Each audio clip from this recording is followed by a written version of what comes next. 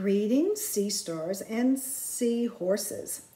You both have all been working on notating rhythmic values, and I wanted to review them with you and add one more note for seahorses and two more notes for the sea stars.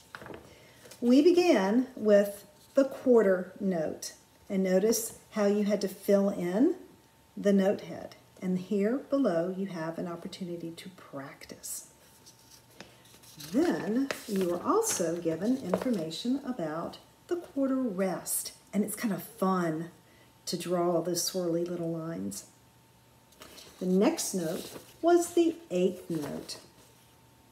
A stem, note head, and a flag. The eighth rest is a lot of fun to draw as well. A little dot, a swoop, and down. Now, sea stars I'm going to add the half note for you all. There is a stem and a note head, but you do not fill in the note head, do you? The half rest